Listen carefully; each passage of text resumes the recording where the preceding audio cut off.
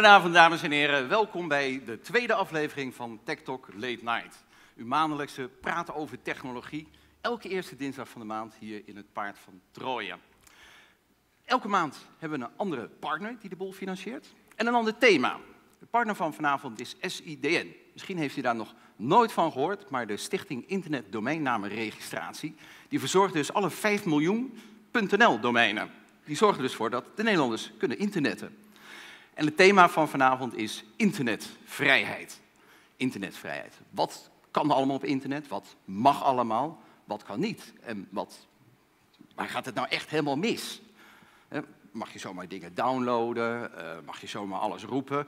En zo niet, wie, wie gaat daar dan over? En wie beheert eigenlijk dat internet? Het is ooit begonnen als een nogal anarchistisch gebeuren.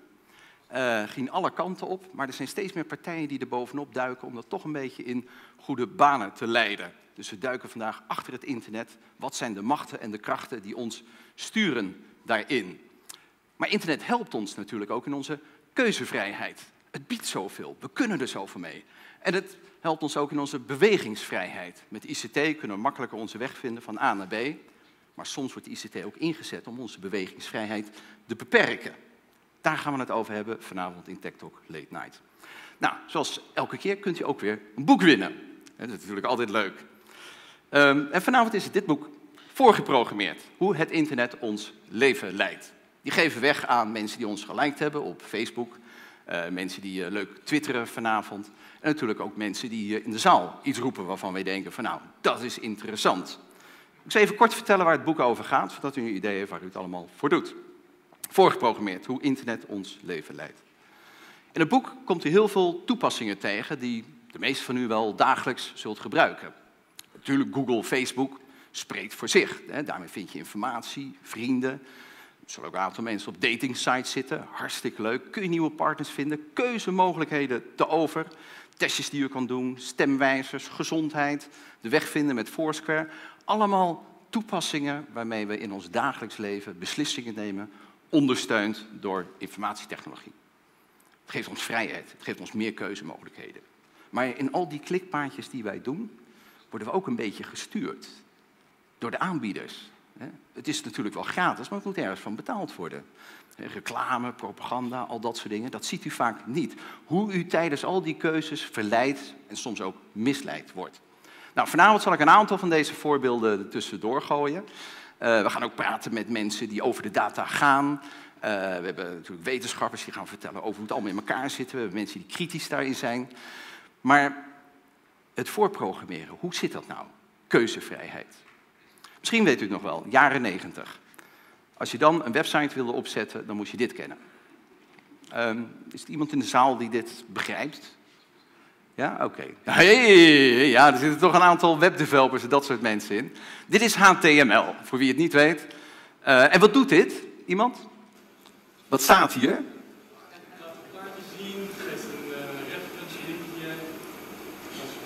Precies. Nou, u weet het allemaal. U kunt programmeren. En dat geeft u ontzettend veel mogelijkheden om van alles op het internet te zetten.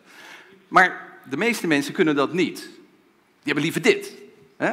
Gewoon een knop, link video plus foto. Zo kunnen ook mensen die niet kunnen programmeren toch het internet op. Alleen ja, het is wel voor hun voorgeprogrammeerd. Want ja, zou je een andere achtergrond willen hebben, of je wil de tekst veranderen of dat soort dingen, ja, dan kan dat weer niet.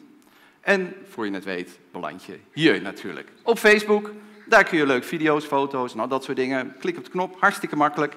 Maar wat er achter de schermen is voorgeprogrammeerd voor u, hoe u daarin gestuurd wordt en al dat soort dingen, dat ziet u niet.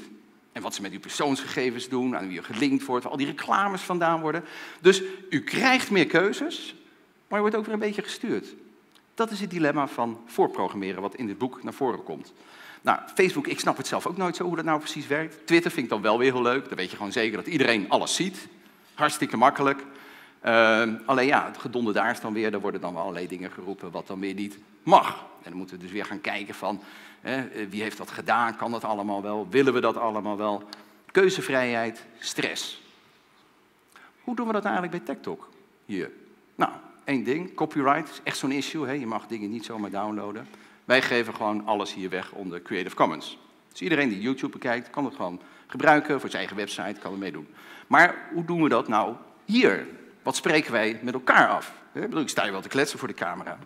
Ik vind het ook hartstikke leuk als u straks even iets komt vertellen. Wat u ervan vindt. U kunt iets roepen uit de zaal, zoals net. U kunt ook hier gaan staan. Dat is uw moment of fame. Nou, dan komt deze meneer erbij, wordt daar gefilmd, dat soort dingen. U kunt even vertellen, wat vindt u nou van internetvrijheid hier? Maar ja, dan sta je er eenmaal op. Ook daar waarborgen wij de keuzevrijheid. Als u heeft gestaan en u denkt van, nou, het was hem eigenlijk niet. Knip u er gewoon uit. Spreken we dat bij deze af. En als u iets roept wat echt niet kan, dan knippen wij u eruit. Dat kan ook. Dat is keuzevrijheid als je met elkaar bent. Als we elkaar kunnen zien, als we elkaar kunnen spreken. Op internet kan dat niet. Dat gaat op allerlei manieren die we niet zien. En die reis gaan we vanavond maken.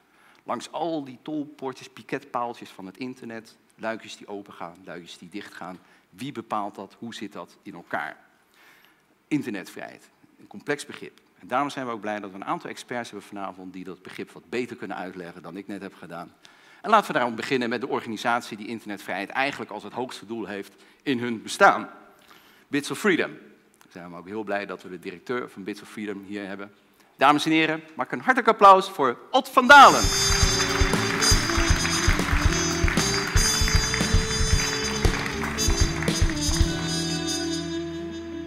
Ja, kom hier hoor, Ot. Hier. Dat...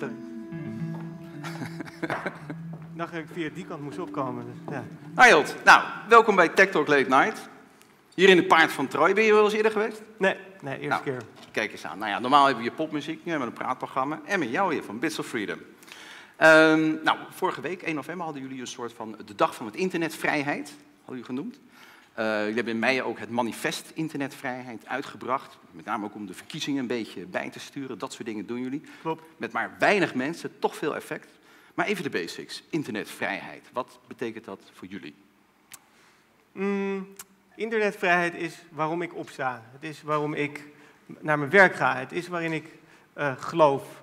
Ehm, toen ik tien jaar oud was, zat ik al achter de computer. En ik was zo geïnspireerd door de mogelijkheden die digitale technologie ons bieden. Als ik iets wil eh, programmeren, dan kon ik dat. Als ik eh, iets zocht op het internet, dan, dan kon ik het vinden.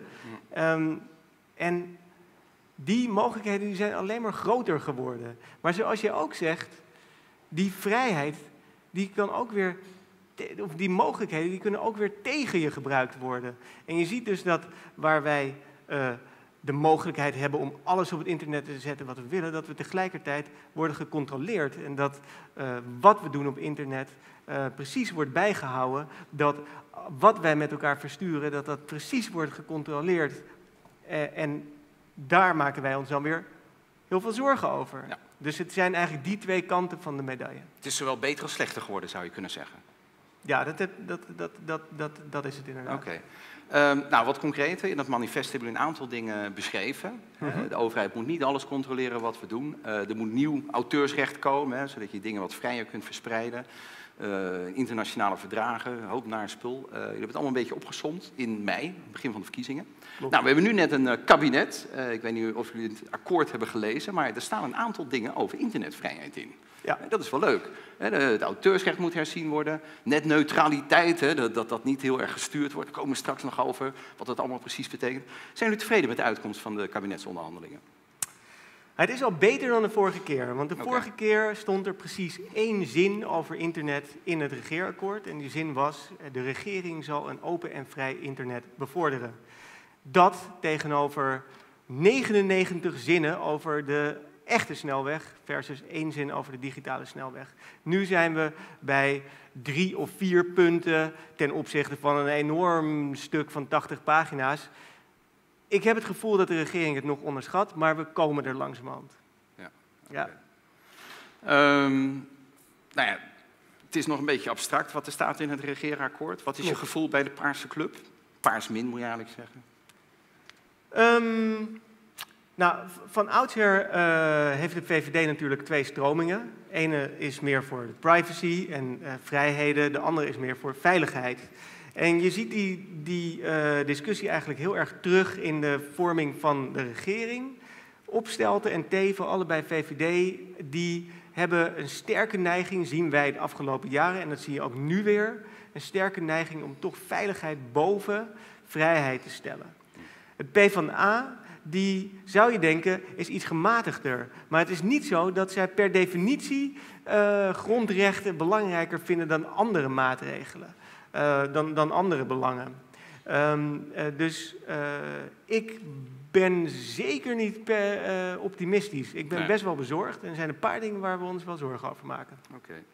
Um, nou, nog zo'n voorval. Uh, vorige maand bij Project X, uh, bij uh, TechTalk hadden we het over Project X. Hè, dat meisje wat dan de privacyinstellingen verkeerd had ingesteld. Iedereen kwam naar haar toe, het één grote puinhoop. Dat, dat, gaf een hoop opvolgberichten, met name via Twitter. er waren een aantal mensen die gingen dan op Twitter zetten van... ja, er is nu een Project X in, in Arnhem, in Gouda, weet ik het wat. ja, dat gaf natuurlijk heel veel onrust. Hè. ja, krijgen we daar ook diezelfde rellen of niet? Uh, en er was ook één jongen in Horen, geloof ik. Uh, die had dus uh, getweet van, van nou, Politics X in Horen, komen allemaal, retweet, retweet, retweet. De politie had heel veel man en macht ingezet. En toen is de, de, de, de, burgervader, die is dus naar die jongen toegegaan. Die heeft gezegd, dit heeft, nou wat was het, 20 tot 30.000 euro gekost. Moet jij betalen vanwege die tweet. Wat vind je van dat soort gevallen? De dynamiek van sociale media, daar moeten we echt nog mee leren omgaan. Als we iets op het internet zetten, op sociale media, dan kan het soms een explosief effect hebben en kan het door andere mensen worden overgenomen zonder dat we daar zelf nog iets over in de hand, zonder dat we dat zelf in de hand hebben. En dat, die dynamiek, die maakt dat de regels daarover ook misschien uh, niet meer 1, 2, 3 toepasbaar zijn zoals ze vroeger toepasbaar zijn. Dus um, het ligt wel voor de hand om daar uh, scherper naar te kijken en te zeggen, diegene die via sociale media gebruik, die gebruik maken van sociale media om bepaalde bewegingen op gang te brengen, die zou je daar scherper uh, voor moeten aanpakken dan, dan, uh, dan voorheen. Mm -hmm. um, maar ik vind het wel wat straf om meteen de eerste keer dat dat gebeurt iemand daarvoor te pakken. Maar in principe als iemand zoiets tweet, kun je die wel verantwoordelijk stellen? Het is heel simpel. Als jij dingen op internet doet, dan ben je niet vogelvrij. Nee. Ook daar gelden natuurlijk rechten en plichten. En wat je op internet doet, ja, daar, daar zal je zelf voor verantwoordelijk moeten worden gehouden. Ja. Waar ik me zorgen over maak, is de reactie die je dan meestal hoort. Dan hoor je uh, rellen in, uh, in Haren, uh, komt door social media, heeft er iets mee te maken. Dus we moeten social media afschaffen. En daarvan denken we, nee, dat is natuurlijk volstrekt disproportioneel. Toen er een revolutie was in Egypte, toen hebben ze het hele internet uitgezet. Ja. Heeft de revolutie daarmee een klap opgelopen? Nee, natuurlijk niet. Het is gewoon doorgegaan. Die twee die hangen niet noodzakelijkerwijs met elkaar samen. En als je de een uitzet, social media, ja. dan raak je ook heel veel verkeer en heel veel mensen die volstrekt uh, legale dingen doen. Ja. Maar dat is inderdaad de blokkades, daar gaan we straks nog uitgebreid ja. over spreken. Uh, maar je bent ook jurist, hè? Uh, kun je ons, ons eenvoudig uitleggen hoe dat in de praktijk gaat? Uh, bijvoorbeeld Hans de Vries, die roept verschrikkelijke dingen op, op Twitter. Een agent ziet dat, terwijl het is gewoon een andere naam. Ik ben het, maar ik noem mezelf Hans de Vries. Ik heb het ook via een Gmail-account gedaan. Hoe komt zo'n agent dan uiteindelijk bij mij terecht? Dat hij weet dat ik dat heb gedaan. Ja, nou, ik denk dat het eigenlijk niet een juridische vraag is, maar meer een technische vraag hoe werkt het met um, de gegevens die over jou worden opgeslagen bij dat soort diensten?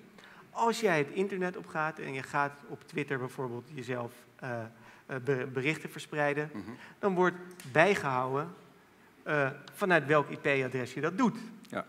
Nou, dat IP-adres kan je vervolgens opvragen bij een telecomprovider en daar komt dan weer als politie en daar komt dan weer een persoon achter vandaan van wie dat IP-adres is. Dat is ook niet zaligmakend, want heel veel mensen die maken misschien gebruik van een wireless netwerk in een uh, koffiecompany. En op die manier zijn ze misschien helemaal niet te achterhalen. Maar dat is een begin. Ja. Je hebt natuurlijk ook veel zelfreinigende krachten op het internet. Uh, Michiel, kun je hem even naar mijn laptop zetten? Uh, ik ben benieuwd wat je van deze tweet-account vindt. doodsbedreiging heet hij. Ehm, dat is iemand die, die iedereen die een doodsbedreiging uit op Twitter, retweet. Dus, dus die doet dat om te laten zien wie, ja, wie zich eigenlijk misdraagt. Ja, er staan echt hele gore dingen op, weet je. Van, uh, als ik gemaakte reiskosten niet kan declareren, dan steek ik elke medewerker neer. Nou, dat is leuk voor de NS, weet je wel. Eh, je wil fucken, nou kom maar, kogels in je lijf. Dat soort, dat soort dingen worden dus geroepen op internet. Maar deze man die, die laat het dus zien op deze manier. Nog mooier, als je naar de website gaat, doodsbedreiging.nl, dan heeft hij ook nog de tweets naar locaties. En, en dan, hier zitten ze, weet je, ook een soort met van pak ze. Vind jij ethisch gezien, moet dit kunnen? Of, of, is het juist goed dat, dat dit een beetje de zelfregulering is die, die plaatsvindt op internet? Of doet deze man eigenlijk hetzelfde als de doodsbedreigers? Um, nou, om, om te beginnen, als je dat soort dingen op internet uit, dan is er een grote kans dat je strafbaar feit pleegt. Uh, afhankelijk van hoe serieus je het meent.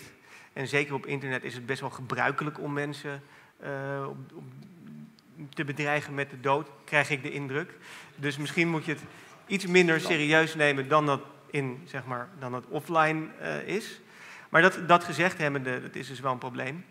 En um, ik vind het volstrekt voor de hand liggen dat aan de hand daarvan, uh, aan de hand van dat soort algoritmes, dus degenen die, die dat zeggen, worden in kaart worden gebracht door zo iemand. Als je iets op internet zet, zou je er toch ook rekening mee moeten houden dat het, dat het een publiek gebied is. Ja, ja oké. Okay. We hebben het gehad over de vrijheid van meningsuiting. We hebben het gehad over privacy, daar hebben we vorige keer al uitgebreid over gesproken. We hebben het gehad over blokkades. Welke onderwerpen moeten we nog meer behandelen vanavond? Nou, één ding waar ik me heel erg zorgen over maak, en dat is een ding waar ik ook jullie aandacht voor wil vragen, is uh, de herziening op de, van de wet op de inlichting en veiligheidsdiensten. Um, nu is het zo dat als de politie iemand wil aftappen, dan moeten ze uh, naar de rechter gaan en dan moeten ze specifiek aangeven wie ze willen aftappen.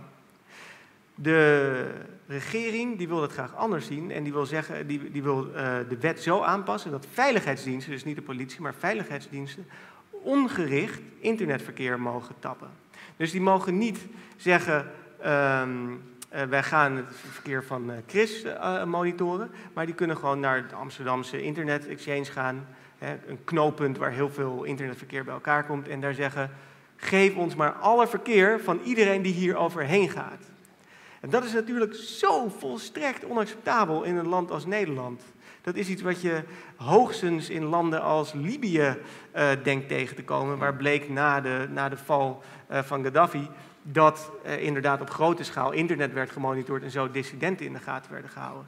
Maar in Nederland zou je zoiets nauwelijks voor kunnen stellen. Ja. En toch willen we dat voorstellen. Nou, dat vind ik heel, heel zorgwekkend en ik hoop ook dat jullie daar allemaal tegen ageren. Ja, maar dat is het klassiek dilemma van de vrijheid. Hè? Om de vrijheid van de mensen te beschermen, moet je de kwaaien in de gaten houden, eigenlijk hun vrijheid beperken. Maar die gaan er toch altijd weer tussendoor, waarmee je uiteindelijk de vrijheid van de massa weer beperkt. We komen er niet uit, hè? Moeilijk.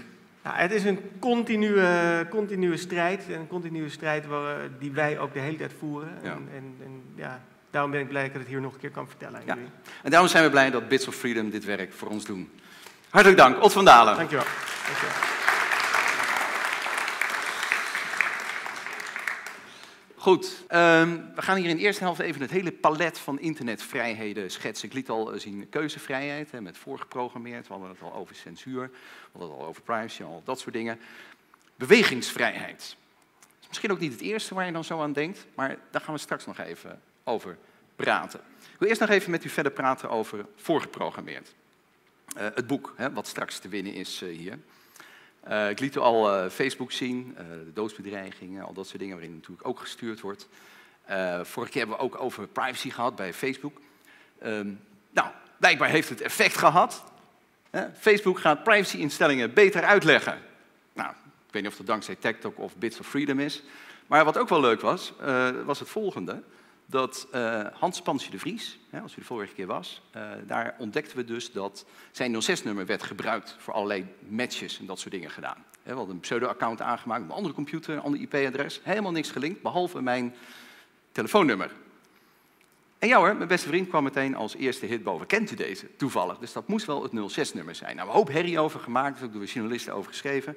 En wat schetst mijn verbazing? Vorige week kreeg Hans de Vries dit berichtje. Please review the phone numbers that you are in your timeline. Confirm. Zouden ze het gehoord hebben? Misschien wel. Misschien is het ook toeval. Ik weet het niet. Bij Facebook gaat het me eigenlijk helemaal niet om mijn privacy. Ik ga er toch vanuit dat ze alles zien. Wat ik wel wil weten is, wat krijg ik nou eigenlijk te zien? Hoe zorgen ze er nou voor dat dat schermpje waar ik naar zit te kijken, dat ze daar de dingen laten zien om mij iets te verkopen, hè, reclames. En, en dat ze traffic genereren maar veel gaan klikken. Nou, we kregen van verschillende mensen, naar aanleiding van de show, allerlei inzendingen. Uh, tips om onze website te verbeteren natuurlijk, en dat het allemaal beter. Dat snap ik allemaal wel. Maar dit was wel een gouden tip, thequiche.com. Kan ik u aanraden. Ik weet niet of het helemaal safe is, maar het is hartstikke leuk. Als je die plugin op je browser zet, dan kun je dus zien wat Facebook heeft bedacht, welke vrienden voor jou het meest interessant zijn. Er zit dus een soort algoritme achter, dat je in je timeline bepaalde mensen meer ziet dan anderen. En is niet altijd je beste vriend, maar dat is iemand waarvan zij denken dat is interessant, daar ga je veel op klikken. dus die heeft bijvoorbeeld bepaalde overeenkomsten of kijkt vaak bij jou of andersom. Hartstikke leuk, je ziet hier een factor. Um, nou, dit is Hans Pansje de Vries. Dat zijn allemaal rare mensen over de hele wereld die spontaan vrienden worden met hem. Het is echt geen leuke gozer.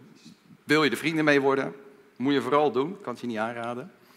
Maar we hebben dus die app hè, van de Kies hebben we dus ook op onze eigen website op Facebook uh, even losgelaten. En dat vind ik wel hartstikke leuk. En dan wil ik ook meteen het eerste boek gaan uitreiken, want dat doen we dus iedere maand. Dan krijgen leuke mensen krijgen een boek van ons. Dus ik heb de Facebook Friend Ranking, die heb ik losgelaten op de Facebookpagina van TikTok. Ik weet niet precies hoe het werkt, maar er zijn bepaalde mensen waarvan Facebook denkt dat ze meer vrienden zijn van ons dan anderen. Wonderbaarlijkerwijs sta ik zelf bovenaan. Nou, dat lijkt me niet echt een verrassing. Uh, vervolgens Virtual, dat is de gitarist daar. Ook goede vrienden. Nou, dan vervolgens nog wat andere goede vrienden van mij. Dick Albers, die was vorige keer hè, was die verkozen tot het boek, uh, omdat hij zijn privacy-instellingen het slechtst had ingesteld. Dick is er weer, toppie. Ik hoop wel dat je privacy-instellingen nu hebt ingesteld. Uh, maar dan is de volgende op het rijtje Jan Stankovic. Ben toevallig? Ja, Jan Stankovic. Nou, kom even naar voren voor je boek. Muziek van Jan Stankovic.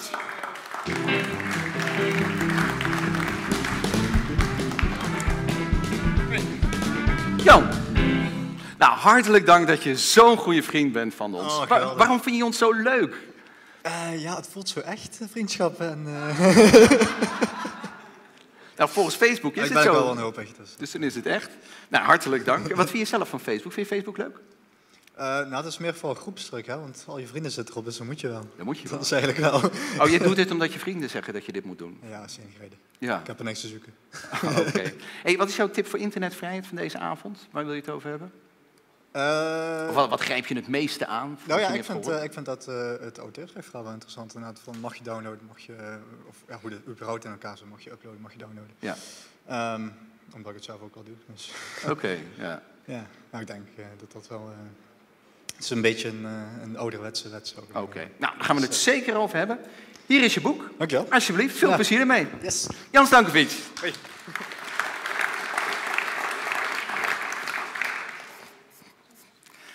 Ja, in het boek hebben we ook allerlei uh, van dit soort screenshots gezet. Dat was ook eens een auteursrechtelijk uh, gedoetje. Want ja, moet je al die mensen gaan benaderen, mogen we een plaatje erin zetten. Maar daar geldt dus ook het citatierecht. Dit is een wetenschappelijk boek. En als dan het verhaal eromheen over die screenshot gaat, of dat plaatje, dan mag het wel. Dus tip voor de volgende keer. Goed. Nou, we gaan weer verder met de volgende onderwerpen. Zoals gezegd gaan we dus even het, landschap verkennen van keuzevrijheden die we allemaal hebben op internet. U zag net al de matchingmechanismes op Facebook, wie het met wie moet doen volgens de algoritmes. Maar het ultieme matchingmechanisme is natuurlijk dating sites. Wie zit er op een dating site? Ja, niemand zegt dat natuurlijk. Nee! Toch zijn er 4 miljoen Nederlanders die dat doen. En in mijn leeftijdscategorie heeft ongeveer 10% van de mensen hun partner via een dating site gevonden. Dus dachten we van het Ratena Instituut, dat gaan we eens eventjes goed onderzoeken. Alexander Schout was trouwens onze onderzoeker op dat gebied. Maar we hebben zelf ook heel veel dingen uitgeprobeerd. Nou, vanuit Facebook, hè, ik had Hans Pansje de Vries ineens weduwe gemaakt. Ik kreeg allerlei dating sites over zich heen en een daarvan was Zoesk. Nou, Zoesk is echt goor. Dat is, uh, dat is een dating site waar, waar je dus uh, je vrienden oproept recensies over jou te gaan schrijven. Maar het begint eigenlijk meteen al met het dwingerige. He, uh, je, je, klikt op Soesk en dan krijg je meteen dit scherm. Je kunt er alleen omheen als je ze liked. Ja, zo krijg ik ook wel 6 miljoen likes. En dan pas kom je verder, kom je erachter wat Soes nou werkelijk is. Dus die hebben we dan maar niet gedaan. We zijn naar Alexa gegaan. Dat is toch een van de meer serieuze websites hier in Nederland om een goede partner te vinden. Ook Parship en, en al dat soort dingen. Maar Alexa vonden we wel leuk. Dus Hans Pansje de Vries ging daten. Hij is een beetje verlegen jongen, dus hij heeft eigenlijk gewoon helemaal niks ingevuld. Geen foto, nooit getrouwd, nou ja, geen hobby's. Hij heeft eigenlijk gewoon helemaal niks. Een absolute nobody, Hans. Maar gewoon, accountje aanmaken is gratis, je kan het altijd even proberen. Wat schetste onze verbazing? De mail stroomde vol. Hans was rete populair. Ontzettend. Je profiel wordt bezocht. Door, kom vooral terug. Allemaal dates. Iedere dag weer. Nou, die wilden we natuurlijk wel. Hè? Allemaal mooie dames. Ik heb de foto's mee even weggelaten, maar goed. En als je erop klikt, ja hoor, dan krijg je dit scherm. Nou, Hans, hartstikke leuk, die is populair, maar hij wil even betalen. Het moet natuurlijk ergens van betaald worden. Nou ja, oké, uh, ja, tientje de maand. Nou ja, vooruit, laten we dat dan maar doen. Nou, dacht ik, ik lees even goed wat daar staat. Wat stond daar? Wil je niet het risico lopen je contacten te verliezen en kies je dus voor een automatische verlenging van je membership? Ja, stond de standaard aangevinkt. Dat mag niet, dat is illegaal eigenlijk en ze doen het nog steeds. Dit is van een half jaar terug, we hebben een hoop herrie over gemaakt en Lexa flikt dit nog steeds. En nou niet om Lexa in het negatieve te stellen, er zijn heel veel websites die dat doen, maar let daarop. Hier heeft u niet voor gekozen. Uw keuzevrijheid wordt daar beperkt. U wordt wel verleid met heel veel keuzes van potentiële partners, maar let wel even op wat daarin staat. Nou ja, vervolgens uh, heeft Hans Pansje verder gewoon maar niks gedaan. Ik denk, nou ja, bekijk het maar. Toch bleven de mails komen. Hebben we even, al die mails hebben we dus uitgesort, samen met uh, mijn collega Jelte Timmer van het Data Instituut. En dat is op een lijntje gezet. En wat bleek nou? Die mail van er is iemand geïnteresseerd in nu, met die mooie foto's, die kwamen dus precies drie keer per dag binnen. In het begin zitten die twee vreemde piekjes, dat komt omdat ze net na twaalf binnenkwamen. Maar eigenlijk na dag één, verschillende momenten van de dag, kwamen er drie mailtjes binnen. De hele tijd door. En inderdaad, als je erop klikte, en mijn collega heeft zich toen wel aangemeld als lid en betaald, waren ze weg. U wordt dus gewoon misleid. Zo is dus een algoritme voorgeprogrammeerd om u daarin te krijgen. Nou ja, dat is even de negatieve kant. Hè. Laten we vooral ook de positieve kant schetsen. Uh, dating sites zorgen ervoor dat u veel meer mensen kunt ontmoeten naar uw eigen gading. we zijn normaal beperkt voor de locatie. Uh, vriendenkring, dat zijn nou, hooguit een paar honderd mensen. Daarbinnen moet je dus kiezen voor je partner of dat klikt. Dating sites, duizend. Het is ook rete spannend. Je kan precies zien, ook een beetje afspraakjes maken en dat soort dingen. Dus ik ben met een aantal mensen gaan praten die dating sites maken. En een van de wonderbaarlijke dingen die ik vond was dat een van de programmeurs zei... Ik doe alleen maar gay. Dat vond ik wel interessant. Hoe dat zo is. Ja, dus vraag en aanbod is veel meer in balans. er is veel meer eh, gedate eh, bij die jongens. En bij ja, hetero-sites dan zijn er toch meer mannen dan vrouwen die wat willen. En wat hebben de gays ook? Wat de hetero's niet hebben, dat is Grindr. En Grindr is echt fantastisch als je gay bent. Want je kunt ook je locatie aangeven. En dan kun je dus gewoon zien wie zit er binnen een straal van 100 meter en heeft behoefte aan, nou ja, dat soort dingen. Hartstikke leuk. Uh, ik liet het zien aan een vriendin van me. Die zei, oh, dit wil ik ook. Waarom hebben ze dat niet voor hetero's? Ik zei, nou ja, als, als jij je aanmeldt hier, echt, je wordt bestormd. Shit, nou ja. Locatiedating. Hartstikke leuk. Uh, voor de hetero's hebben we natuurlijk wel Foursquare. Daar kun je ook mensen ontmoeten. Dat hartstikke leuk. Kijk met je mobieltje, wat is waar, wanneer. Leuke dingen te doen. Je kunt uh, punten verdienen. Je kunt de weg vinden. dat is hartstikke leuk. En hier zien we dus bij dit soort toepassingen een fundamentele verschuiving van het internet. Waar het vroeger alleen cyberspace was, ver weg. Je wist niet waar iemand zat of wanneer iets geschreven was of gedaan. Komt die geografische laag komt daarbij. Puntjes op bewegende kaarten. En ook daar kunnen wij inderdaad gebruik van maken. Uh, in, het boek is dat ook uh, uitgebreid uh, onderzocht door Linda Kool. Die heeft inmiddels mijn baan overgenomen bij het Rata Instituut. Hartstikke leuke baan. En uh, ja, zij is gaan kijken, waarom doen mensen dit? En dan zie je ook weer het dilemma van keuzevrijheid. Ze, ze, willen eigenlijk alle keuzes hebben. Ze willen het ook een beetje voor laten programmeren, dat je weet wat je krijgt. Maar je wil ook een beetje verrassing. Orchestratie van het toeval noemt ze dat. Buiten de gebaande paden of in het bekende straatje. Goed, ik ben nu even uitgepraat over dit boek. Ik kan er eindeloos over doorkletsen, want ik vind het zo hartstikke leuk. U kunt er straks ook eentje winnen met uw reacties, met tweets of als u live wat wil zeggen. Maar we gaan het eerst hebben over geodata. Want al die data van bewegende mensen en voertuigen wordt dus op een kaart gezet om onze bewegingsvrijheid te vergroten, dan wel te verkleinen. We hebben even gekeken naar interessante applicaties op dat gebied. En ik vind zelf eigenlijk wel de meest interessante is de Nationale Databank Wegverkeergegevens. Daar komt van alles samen. Heeft u misschien ook nog nooit van gehoord? Maar wel de applicaties die erop gebouwd worden. We zijn ook heel blij dat de directeur hier aanwezig is. Ze heeft vroeger in de Rotterdamse haven heeft de logistiek helemaal op orde gebracht. Maar ze is nu directeur van de Nationale Databank Wegverkeergegevens. Dames en heren, een hartelijk applaus voor Monja van String.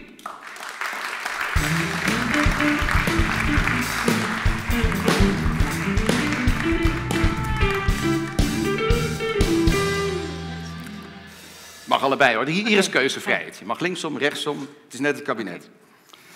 Goed, ehm, de Nationale Databank Wegverkeergegevens. Ik zei al, de meeste mensen zullen er niet van gehoord hebben, maar heel veel mensen maken daar gebruik van. Wat is het precies?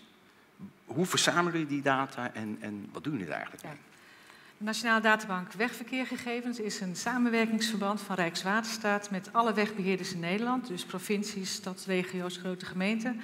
En wij hebben in één databank inmiddels uh, over 6000 kilometer weg actuele gegevens. En met die actuele gegevens wordt enerzijds door de wegbeheerders verkeer gemanaged. En we geven die gegevens ook door aan ANWB, de TomTom, de Verkeersinformatiedienst. En die maken er weer verkeersinformatie van. Ja. Um, nou, als ik dus met de auto over de weg rijd, ja. dan volgen jullie mij. En ook alle andere nee, auto's. Hoe, hoe, gaat dat? Hoe, hoe, gaat het in wij uh, kopen data in en uh, dat gaat op verschillende manieren. Uh, de ouderwetse manier, of tenminste de, die nog steeds goed is, maar dat is met, als je over de snelweg rijdt, zie je allemaal lussen in de weg, zie je ingravingen, dat is lussen. En met camera's, en daarmee meet je intensiteiten en snelheden, puntsnelheden, mhm. en dan combineer je dan tot reistijden. Uh, maar we hebben ook een nieuwe manier van inwinning inmiddels in Noord- en Oost-Nederland. En dat gebeurt op basis van uh, radar, uh, of nee, infrarood en Bluetooth. Ja. En wij stellen heel hoog, hoge eisen aan de kwaliteit omdat je per minuut of per seconde de, per dingen wil doorgeven. Dus de, de, data worden per minuut ook doorgegeven. En dat betekent dat je hele hoge eisen aan de kwaliteit stelt ook. Dus jullie zien Wij wel... weten niet wie daar rijdt. Nee. Oké, okay, want we hadden vorige maand was Simon Hania hier, uh, ja. hadden we het ook over dat punt. Ja. Het is natuurlijk prachtig als je die auto's uh, volgt, maar het moet natuurlijk niet de bedoeling zijn dat je kan zien wie daarin zit. Uh, als ik daar gebruik van wil maken, moet ik daarvoor betalen? Um, jij kunt als, um, nou je krijgt per minuut verschrikkelijk veel data binnen. Mm -hmm. Dus het is de vraag of jij daar persoonlijk iets aan hebt. Uh, maar als jij zegt van ik, ik, ben, uh, ik maak een, uh, een, navigatiesysteem en ik wil dat gebruiken. wij hebben nu een, eigenlijk een verstrekkingsprijs van 6000 euro. dat, zijn eigenlijk de, dat dekt helemaal niet de kosten van die inwinning, maar het is meer ook omdat wij daarmee een service leveren. We, we, hebben, een, een, we hebben een helpdesk, we, hebben, we leveren kwaliteitsrapportage, uh, we doen allerlei overleg met je. Dus dat zit eigenlijk in die 6000 euro. Wat we wel aan het doen zijn is nu, mede, vanwege de open data discussie, om te kijken of we ook gewoon ergens een, een site neerzetten, een portal, waarbij je dan gewoon de data gratis kunt krijgen. Maar dan zit er dus ook helemaal geen service bij, nee. geen ondersteuning. En dan kunnen we ook niks zeggen en garanderen over de kwaliteit. Ja. Dat is een beetje een dilemma, omdat eigenlijk wat de overheid met die data wil, is ook zorgen dat de weggebruiker goed geïnformeerd wordt en dat er veilige situaties ontstaan. Ja. En als wij nu met onze afnemer een contract sluiten, dan staat er in die licentie wel dat op het moment dat er een calamiteit is, dat de overheid dan de basis en die bepaalt waar mensen naartoe gestuurd worden. Oké, okay. ja. ja. En uh, ja, op het moment dat je het helemaal vrijgeeft, uh, ja, dan wordt dat natuurlijk toch wat lastiger. Dus dat ja. is best een moeilijk onderwerp. Ja, want je zei al even, de open data discussie. Ja. Dat vind ik toch interessant. Ja. Er zitten hier ook mensen van ambtenaar 2.0 bijvoorbeeld. Die zijn echt helemaal voor open data. Allemaal open, wat, wat, wat betekent het precies, open data? Uh, zoals het geïnterpreteerd wordt, is eigenlijk dat uh, alle data die door de overheid uh, gegenereerd wordt, dat die dus vrij ter beschikking komt van de burgers. Mm -hmm. ja, daar, um, daar wordt eigenlijk oorspronkelijk, en het is natuurlijk vaak door de mensen die dat bedacht hebben, wordt bedacht natuurlijk dat jij als burger inzicht krijgt in wat de gemeenteraad besloten heeft, uh, wat, uh, wat de hogeschool presteert, dat soort dingen. Maar dat zijn natuurlijk niet actuele data waar iets mee gebeurt. Nee. En dit zijn data waar echt ook een proces mee gemanaged wordt. Hè? Dus het verkeersproces. En Ehm, wat je nu ook ziet is dat ehm, wat we eigenlijk willen met die data is dat ook eh, de bestaande infrastructuur, dat, is de, dat de wegen, dat die beter benut worden. Ja. Je had het net over de ehm, eh, nieuwe eh, regeerakkoord en daar staat ook in dat ja, er zijn nu heel veel wegen aangelegd, hè, dus ook in de afgelopen periode. Daar wordt nu nog wat van afgerond. Maar wat je eigenlijk wil is dat de wegen die er dan nu zijn, ook door middel van informatie die je daarover hebt, beter benut kunnen worden. Dus dat Ja. zie je boven de weg dat opeens de snelheid minder wordt. Of dat er een eh, eh, spitsstrook open gaat. En, daarmee kun je, en, en dan is de snelheid wat langzamer, maar dan kun je dus veel meer verkeer op kwijt. Ja. Oké, want, want dan wordt de data dus niet alleen eh, gebruikt dat mensen zelf kunnen kijken van waar staan de files, waar ga ik rijden. Maar Nee. er wordt dus ook wel van bovenaf Ja. gestuurd Ja. met die data van Ja. hier mag het wat sneller, wat langzamer. Dus in die zin ga je ook weer bewegingsvrijheid van individuen beperken om de bewegingsvrijheid van het collectief te vergroten. Het is weer zo'n klassiek dilemma Ja. van vrijheid Ja. en Ja. dat soort dingen. Hey, dat vindt de politie natuurlijk ook hartstikke mooi, die gegevens, of niet? Eh, de politie heeft geen toegang tot de gegevens. Maar iedereen kan ze toch kopen? Eh, ze zouden ze af kunnen nemen, ja. Ja. Maar het is niet zo dat zij. ehm, maar de, verge- eh, de data zijn dus versleuteld. Ja. Dus zij kunnen er eh, ook, ja, net als wij, we kunnen er niets mee tenzij ze de sleutel hebben. Maar ik las wel nou, een klein jaartje geleden in de krant dat de politie dit wel gebruikt om te kijken waar moeten we snelheidscontroles wat meer opschroeven. Want daar wordt over het algemeen wat harder gereden dan normaal. Klopt dat? Ehm, wat wij doen met de eh, database is dat inmiddels is er een gigantische historische database opgebouwd en daar kun je allerlei analyses op loslaten. Ja, Ja. En dat kan iedereen in principe iets mee doen. Oké. En wat wel leuk is, is dat er ook steeds nieuwe toepassingen bedacht worden. Er is eh, recentelijk eh, heeft de minister de TRX, de transportindex, ge- gelanceerd. En dat is eigenlijk dat men in de Rotterdamse haven bedacht had van, goh, we willen, eh, volgens mij is er een eh, verbinding tussen eh, de groei van de economie en het vrachtverkeer. Dus als wij nou zowel op de weg als op de, dat is dan de data van ons vandaan, als op het spoor en als ook op de, op de vaart, kijken van Mhm. hoeveel vrachtverkeer er is, dan kunnen wij een, een index geven over hoe de economie zich ontwikkelt. En dat, die wordt in Nieuwsblad Transport nu weergegeven. Dus, maar dat was een toepassing die wij nooit bedacht hadden. Dus die geweldige bak van data kun je, eh, nou, we gebruiken hem als overheid ook om te analyseren van waar vinden nou veel opstoppingen plaats, eh, Ja. waar, waar incidenten, eh, ongevallen. En dan kun je daar je beleid op aanpassen. Dus nu is het eigenlijk een beetje een samenspel tussen zowel de burgers die de data kunnen eh, bekijken en zelf beslissen, ik ga wel of niet in de file staan, Ja. als wel sturing van bovenaf, van daar gaan we snelheid beperken of opschroeven. De, eh, hoe, hoe, hoe gaat de toekomst eruit zien? Als we over vijf of tien jaar kijken, wordt het dan echt een systeem dat van bovenaf gewoon alle snelheden bepaalt en dat je gewoon ja, eigenlijk je vrijheid opgeeft om sneller van A naar B te gaan? Of wordt het gewoon een soort zwermintelligentie van nou, iedereen moet maar kijken? En, eh, Nou, de toekomst, de toekomst wordt, eh, denk ik, eh, coöperatieve systemen. En dat is dat je. eh, nu heb je in de auto al mogelijkheden om een sensor te hebben dat je weet of er een auto voor je is. Hè, en of, je dan, of daar op geremd gaat worden, dat de au- de auto dat automatisch doet. En dat is dus eigenlijk de auto die dat zelf die sensor heeft. Maar in de toekomst wordt het coöperatieve systeem. Dat is eigenlijk dat de auto's met elkaar gaan communiceren. Maar dat is niet over vijf of tien jaar, maar dat wordt de lange termijn toekomst. En dan heb je eigenlijk heel weinig te sturen, want dan word je gewoon door het systeem eh, gestuurd. Dus je gaat de A4 op, gewoon krantje lezen, Ja. hartstikke idee. Ja, ga je dat is eh, wat, ze- wat men eh, op de lange termijn verwacht. Oh, het zou voor mij ideaal Ja. zijn. Maar er Nou, zijn heel veel mensen die het toch wel heel leuk vinden om zelf even met gaspedaal in te drukken natuurlijk. oh, dat vind ik veel te eng. Nee, dat doe ik helemaal niet aan. We zien uit naar de toekomst en ik hoop dat je er ook nog steeds bent met de Nationale Databank Wegverkeergegevens. Ehm, zullen we het hierbij laten? Vat je nog iets? Nee. Oké, dames en heren, hartelijk applaus voor Marja van String.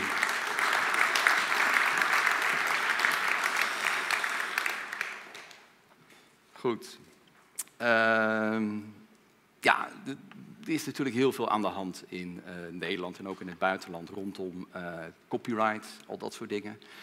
Ehm, op de snelweg worden de auto's gestuurd door snelheid. Eh, mensen kunnen er binnen ook een beetje zoeken. Het internet, dat is eigenlijk een grote netwerk van asfalt en dingen waar de auto's maar een beetje zelf hun weg moeten zien te vinden. Maar er komt steeds meer controle over. Er zijn nu momenteel in eh, Baku, Azerbeidzjan, is de Internet Governance Forum, zijn heel veel belangenpartijen bij elkaar om te gaan discussiëren over waar we controle moeten hebben of niet. En of we nog netneutraliteit kunnen behouden. Netneutraliteit. Het wordt dus al een eh, aan- aantal keren genoemd. Ik ben daarom ook blij dat we een eh, expert hebben hier die dat allemaal fijntjes technisch kan uitleggen. Hij is erg druk, want hij uh, werkt bij TNO als onderzoeker cybersecurity. Hij werkt ook bij de Radboud Universiteit, bij de Digital Security Groep. En hij leidt dan ook nog het Privacy and Identity Laboratory. En morgen om zes uur moet hij ook weer ergens ver weg zijn. Dus ik ben hartelijk blij dat hij hier is. Dames en heren, een hartelijk applaus voor Jaap Henk Hoepman.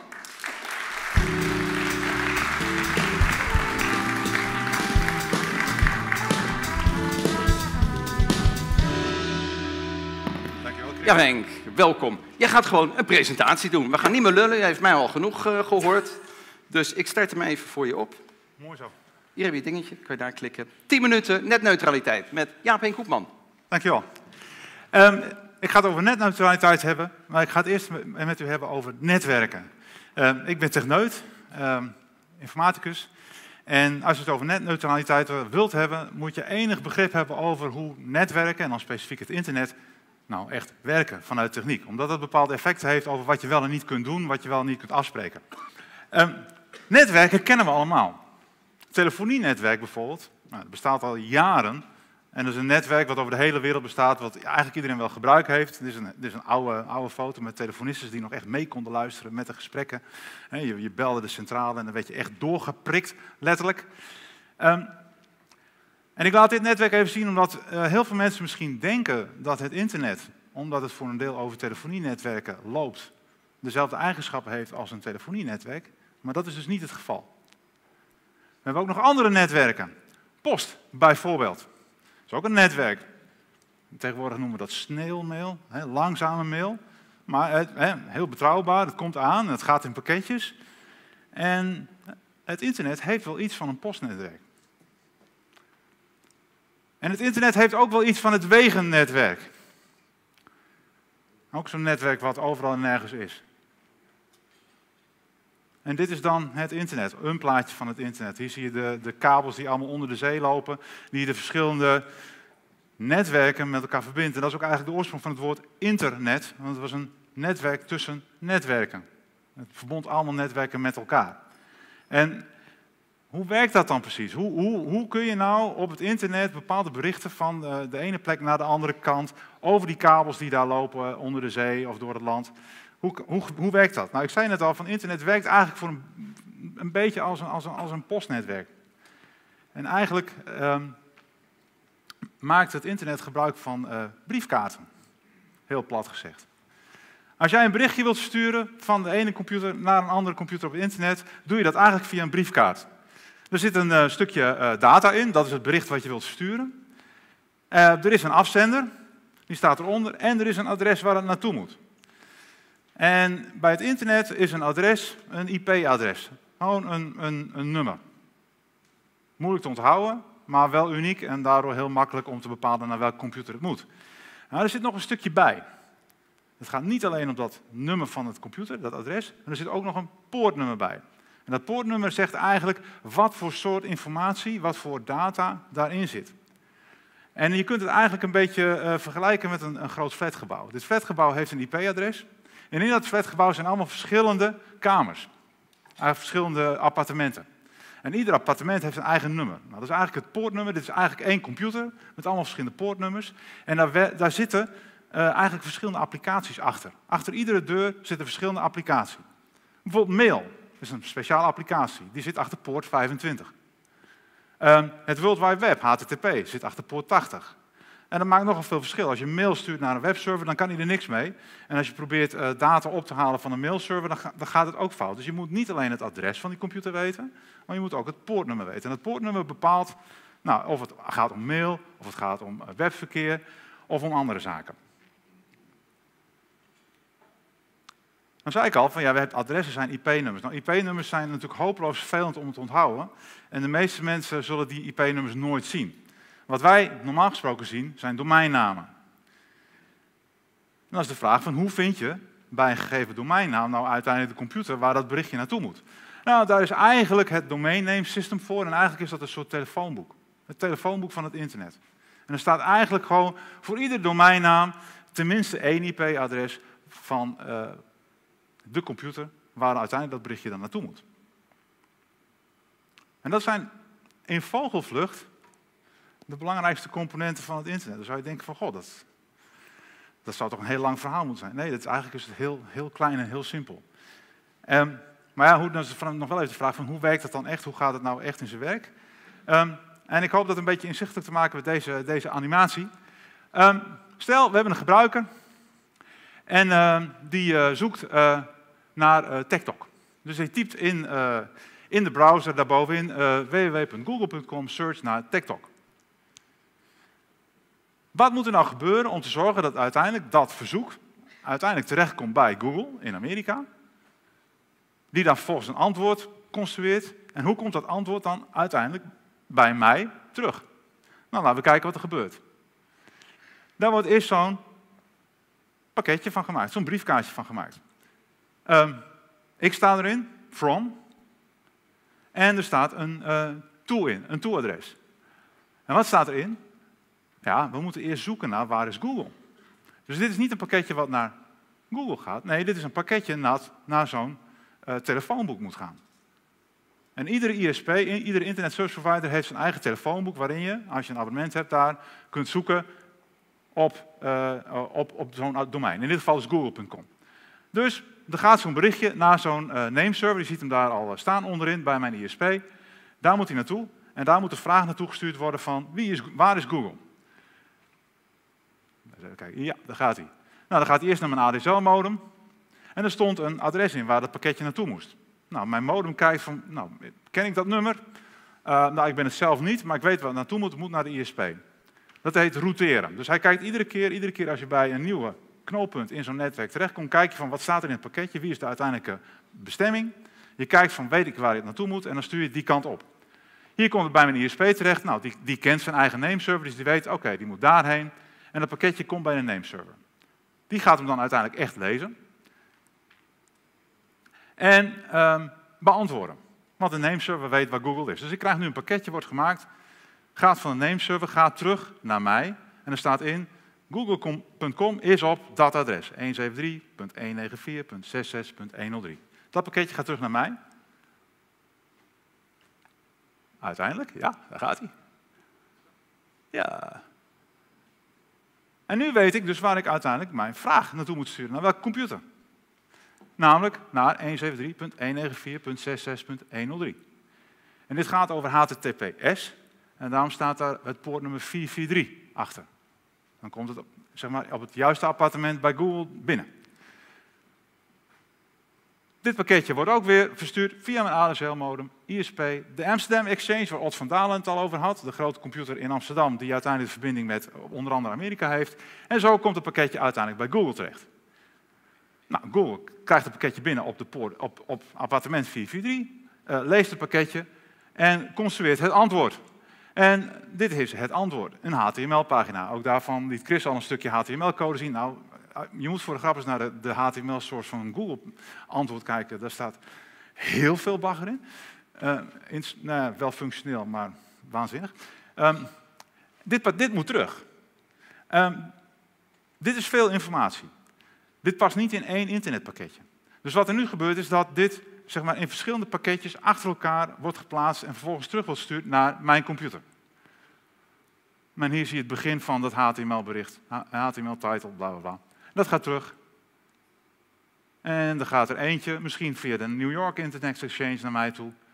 Dan gaat er uh, nog eentje, die gaat uh, via een andere Internet Exchange. Dus die pakketjes hoeven ook niet noodzakelijkerwijs via, via hetzelfde pad uiteindelijk bij mij terecht te komen. En uiteindelijk zijn al die pakketjes komen aan. Nou, dat waren er vrij veel. En voilà, ik heb het resultaat. Dat is heel grof uh, weg hoe, uh, hoe dat internet werkt. En hoe dat samenspel is tussen aan de ene kant dat telefoonboek, dat domain name system. En aan de andere kant al die verschillende routers, die computers op het internet, die iedere keer kijken naar zo'n pakketje. Eigenlijk die briefkaart pakken, kijken van hey, wie is de afzender, wie is de, wie, wie is de geadresseerde. En het dan vervolgens doorsturen. En de grap is dat vanwege deze opzet van het internet, het internet zich eigenlijk uh, niet zo helemaal gedraagt als een telefoonnetwerk. Er is eigenlijk niet één centraal punt van controle. Ja, je hebt een abonnement bij je ISP. Maar op het moment dat die pakketjes de ISP verlaten, kunnen ze alle kanten op. En dat maakt ook allemaal niet zo heel erg veel uit. En eigenlijk lijkt in die zin het internet nog veel meer op een wegennetwerk. Als je een auto hebt, kun je de weg op en kun je rondrijden. Er zijn wel bepaalde beperkingen op, regels op wat voor auto's daar mogen rijden, maar dat geldt voor IP-pakketjes ook. Die hebben ook maar een maximale lengte, hebben ook bepaalde formaat vereisten. Uh, maar het is een hele beperkte mate van centrale controle. En dat is wel belangrijk om je te realiseren, omdat dat effect heeft op wat je aan, aan uh, controle aan de ene kant en qua netneutraliteit aan de andere kant kunt doen. En dat is eigenlijk een beetje de vraag hè, van hoe zou je nou kunnen filteren op het internet? En hoe, zou, um, hoe zou je dat kunnen doen? Nou, je zou bijvoorbeeld kunnen afspreken van nou, we willen geen uh, uh, bepaald soort verkeer meer hebben. We willen bijvoorbeeld al het mailverkeer blokkeren. Dat is makkelijk. Dan zeg je gewoon alle verkeer op uh, poort 25 blokkeren we, dan hebben we alle mail geblokkeerd. Ja, dat is leuk, dat zou kunnen. Hè, je, alleen, je hebt ook zoiets als een tunnel. En in feite is een tunnel hetzelfde als het inpakken van een pakketje in een ander pakketje voor een ander poortnummer. Het is hetzelfde alsof je zegt van, nou ja, eh, stel de politie controleert bij de flat dat er geen enkel pakketje wordt afgeleverd op nummer 25. Als ik maar een afspraak heb met mijn buurman op 26, dat hij het pakketje voor mij aanneemt en het volgens aan mij doorgeeft, nou, dan heb ik mooi die politie omzeild. Nou, dat kun je dus met het blokkeren van poorten, heb je dat effect dus ook. Wat je ook zou kunnen doen, is, hè, in het geval van uh, de Pirate Bay bijvoorbeeld, domeinen namen blokkeren, het domain name system blokkeren. Ja, dat betekent inderdaad dat ik geen antwoord meer krijg op de vraag van wat is het IP-adres die daar bij dit domeinnaam hoort. Nou ja, we hebben dat ook wel weer bij de Pirate Bay gezien. Wat ze dan volgens doen is of een andere domeinnaam claimen, of gewoon overal nergens publiceren wat het echte IP-adres van die computer is. Kom je er alsnog. En wat je dan uiteindelijk nog zou kunnen doen is een IP-adres zelf blokkeren. Nou, dat kan. Maar je kunt ook zo een nieuw IP-adres aan een computer toewijzen en dan is hij alsnog weer bereikbaar. Dus je ziet dat het verdomd lastig is om te filteren. Dan ging het hier om de vraag van hoe kun je filteren. De vraag is misschien ook nog wel van waar kun je filteren. dat kun je op verschillende plekken doen. Je kunt het bij de, bij de gebruiker zelf doen. En bij de meeste mensen zal wel een soort firewall draaien. En de meeste mensen hebben, al was het maar hun eigen mailprogramma, een spamfilter om in ieder geval junkmail te filteren. Dus dat, dat kan. Uh, je kunt het ook bij de ISP doen. En dat zag je bij het geval van de, van de zaak van Brein, waarin Access for All en KPN werd gevraagd om de Pirate Bay bij de ISP te blokkeren.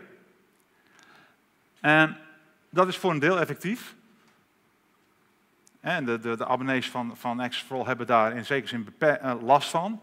In ieder geval de mensen die verder niet weten hoe ze daar omheen moeten komen, hebben daar last van. Wat je ook kunt doen, is filteren bij een grote internet exchange. Eigenlijk zo'n ding wat op de grens staat tussen het ene land en het andere. En je ziet dat, dat gebeurt dus bijvoorbeeld in landen als China. En dat is een heel grof middel, maar in zekere zin ook nog wel een behoorlijk effectief middel. Je kunt daar behoorlijk veel tegenhouden als je wil. Dus vandaar dat hè, het blokkeren van internetverkeer in, in, in een land als China kan. Zolang je dat maar op landelijke schaal doet. Nou, dat is even de, uh, de achtergrond, de techniek achter het internet. En wat voor consequenties dat heeft uh, voor uh, filteren. En daarmee dus ook voor netneutraliteit. Um, dat is ook de, je ziet hierin dat techniek en, uh, uh, een hele belangrijke rol speelt in wat je wel, niet, en wel en niet kunt doen qua beleid, qua regulering, qua controle op zo'n zo'n netwerk. Um, dat is ook een van de redenen waarom wij uh, in, in, in Nijmegen, waar ik dan docent ben, het belangrijk vinden om daar ook veel onderwijs over te geven. En een van de leuke dingen die we gaan doen volgend jaar is bijvoorbeeld een nieuwe cybersecurity bachelor opstarten. Om nog meer mensen te vertellen over hoe uh, die techniek nou in elkaar zit en hoe je die veiliger kunt maken en hoe je die privacyvriendelijk kunt maken. Dat was het, Chris. Ik hoop dat het duidelijk was.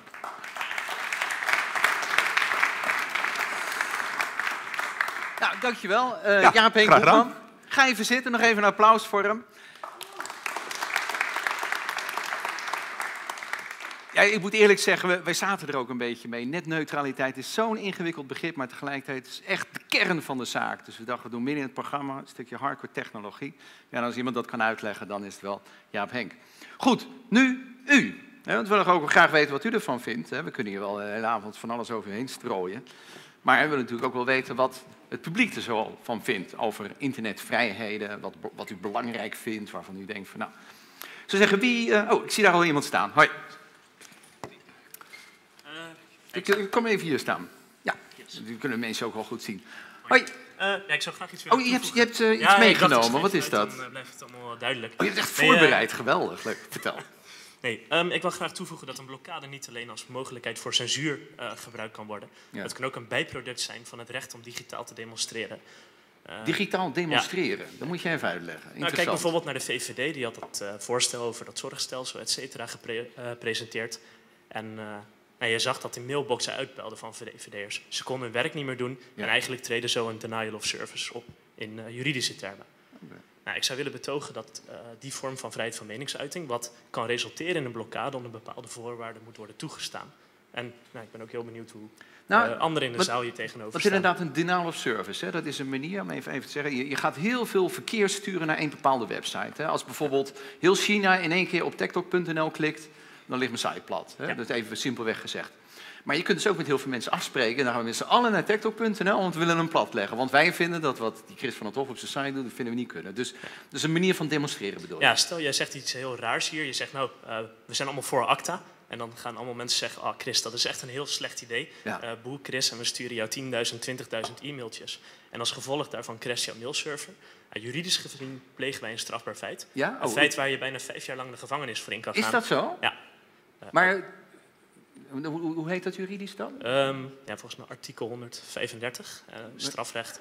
Ja, nee, Laten we dat is- niet eh, maar in details is treden, dat maar... computervredebreuk of is dat baldadigheid, eh, vandalisme? Of, of... Nee, je vertraagt zeg maar een geautomatiseerd informatiesysteem.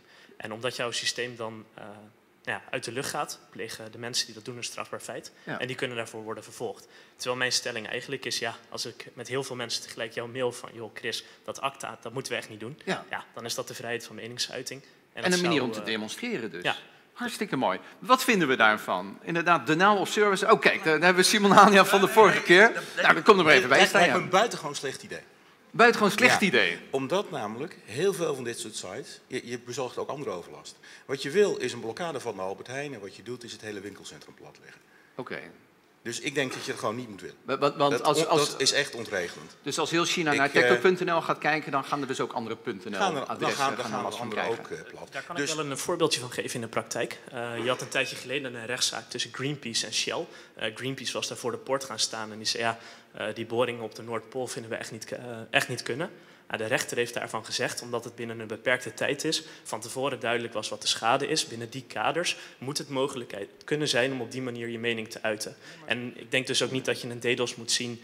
eh, zoals Anonymous, eh, wekenlange site van eh, de ING-bank of iets dergelijks platlegt. Maar je moet het meer zien in een korte tijd, proportioneel, subsidieel. En dan zou ik het toch wel En willen ook de toestaan. intentie. De intentie Ja, uiteraard. Het moet niet het doel zijn om te blokkeren. Het, de, kans is Ja. de kans is levensgroot dat je anderen ook lastig valt. En eh, dat moet je niet doen. Het is gewoon asociaal eigenlijk. Ik vind het volstrekt asociaal, omdat in de praktijk juist dat soort sites, die zijn of hebben zich zo geregeld dat ze er geen last van hebben, omdat ze op een groot content delivery network staan, dan lukt het misschien veel succes, maar dan heb je ook anderen platgelegd. Dus eh, nee. Dit is een soort nee. Project X Dit eigenlijk. is, eh, eh, nou ja, maar dan in de, in de internetzin. Ja. zin. Je kan hier internet niet echt goed vergelijken met de fysieke wereld. Ja. Niet. dat Nou, vind ik wel interessant. Nou, ik vind het interessant. Dus in principe zegt u, als wij allemaal tegelijkertijd gaan mailen naar de VVD... jongens, doe dat nou alsjeblieft niet. Dan zegt u nou gewoon strafbaar stellen. Dat mag niet dat we met z'n allen tegelijk gaan e-mailen. Dat moet geregeld zijn. Niet, niet het feit dat je de VVD eh, op dat moment eh, mailt, maar het feit dat je ook anderen overlast bezorgt. Ja. Dat is het probleem. Oké. En dat kun, jij niet, eh, dat kun je niet van tevoren goed uitzoeken en weten. Dus het, het is niet zozeer het feit, wat mij betreft, dat je de VVD overlast bezorgt. Of dat je daar, of een andere politieke partij, of de Tweede Kamer. Het punt is dat je ook anderen met grote kans eh, van slagen eh, ontregelt. Oké, heren, punt is helder. We willen allemaal pauze. Hé, hey, je krijgt een boek, want jij was zo dapper om de eerste te zijn. Alsjeblieft, voorgeprogrammeerd. Dankjewel. Dankjewel. Even applaus voor deze heren. Goed. Nou, zo doen we dat dus. We doen straks eh, doen we nog even een rondje. Dan gaan we nog even wat meer mensen aan het woord laten. Maar u heeft al lang genoeg gewacht om even wat te drinken, te plassen, te roken, te bellen. Al dat soort dingen. We hebben tien minuutjes pauze. En dan zijn we terug met de tweede helft van Talk Late Night. Daarin natuurlijk de kraak van de maand met Brenno de Winter. Eh, ISP, Internet Service Providers, hoe zij omgaan met eh, blokkades. We gaan het ook nog even hebben over copyright en muziek. Kortom, straks gaan we verder met onze digitale vrijheden. 10 minuutjes, tot zo.